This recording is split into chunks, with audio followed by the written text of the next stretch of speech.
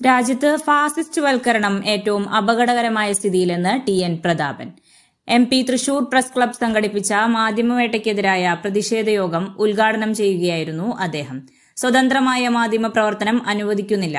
ഭരണകൂടത്തിന് അഹിതമായത് എഴുതുന്നവരെയും പറയുന്നവരെയും വേട്ടയാടുന്നു. ഇഷ്ടമില്ലാത്തത് പറയുന്നവരെ ഉന്മൂലനം ചെയ്യുന്നതാണ് ഫാസിസ്റ്റ് രീതിയെന്നും അദ്ദേഹം പറഞ്ഞു.